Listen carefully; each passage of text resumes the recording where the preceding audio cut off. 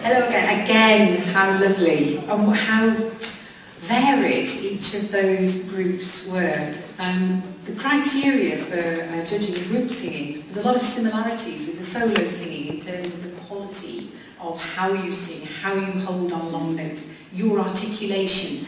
Um, but there's also more, and I think the biggest thing with group singing is am I looking at six singers who all want to be solos by themselves, or am I looking at six singers who sound as one?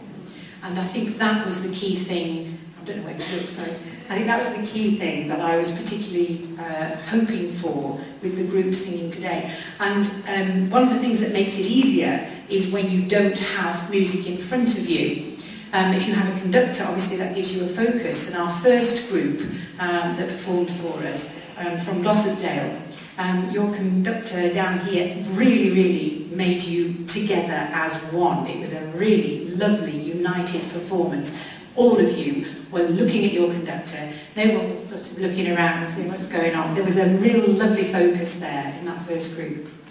Um, Breaston, your music hall song, absolutely lovely.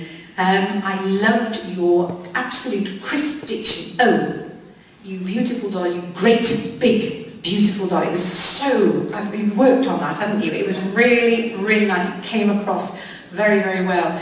And Barbara and Clan, um, again, you, and each one of you had different strengths. Uh, the way you came in, Barbara and Clan, you got my attention straight away. The way you were dressed, the way you came on, very purposefully, we are going to perform for you.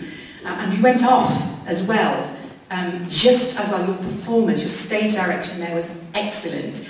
And it is important, and it does grab our attention when we see things like that done well.